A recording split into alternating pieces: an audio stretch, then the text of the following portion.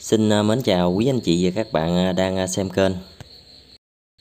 Thì hôm nay là ngày 1 tháng 7 năm 2020 thì mình xin tiếp tục làm clip cập nhật tình hình giá nhãn y đo tại khu vực Cần Thơ và Vĩnh Long cho quý anh chị và các bạn cùng tham khảo. Trong một vài ngày qua thì thị trường nhãn y đo đã có chút khởi sắc. Cụ thể là giá nhãn y đo đã tăng, quý anh chị và các bạn do có tin ờ, rất tốt về ờ, thị trường ờ, nhãn xuất khẩu. Cộng với việc tình hình thu hoạch trái cây ở miền Nam mình, vào lúc này thì cũng gần như là cuối mùa rồi đó quý anh chị và các bạn.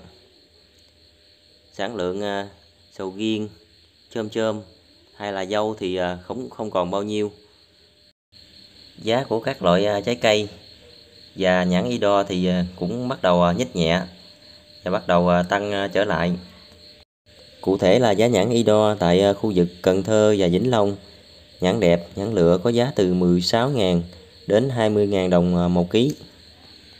Ở khu vực Vĩnh Long thì có giá từ 16.000 đến 19.000.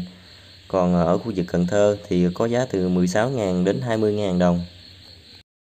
Đồng thời thì cũng tùy theo khu vực, tùy theo từng chất lượng, từng vườn nhãn, nhãn đẹp hay là nhãn xấu hoặc là tùy theo hình thức mua của lái mua xô hoặc là mua lựa nên à, sẽ có giá giá, giá dao động à, trên lệch từ à, 3.000 đến 4.000 đồng một ký.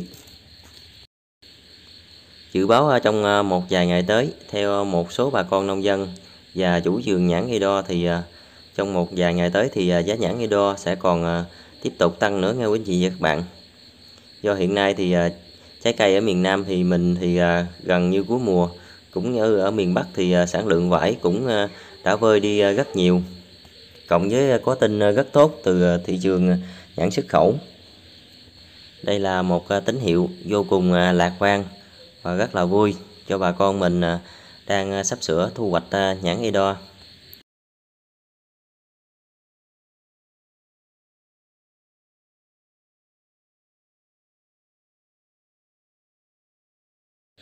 do không có thời gian rảnh nên ờ, đôi khi khoảng ờ, 3-4 ngày mình mới có thể làm một clip cập nhật tình hình ờ, giá nhãn đo nên đôi khi nó có chút chậm trễ và nó có chút không chính xác so với thị trường thì mong quý anh chị và các bạn thông cảm.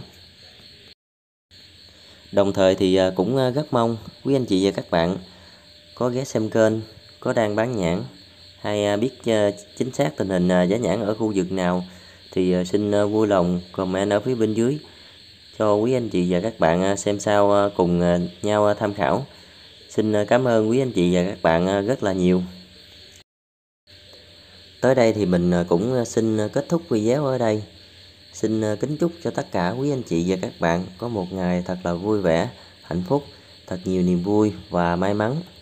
Xin kính chúc cho tất cả quý bà con mình đang thu hoạch nhãn và sắp sửa thu hoạch sẽ có một mùa nhãn đạt được năng suất thật là cao và bán được giá.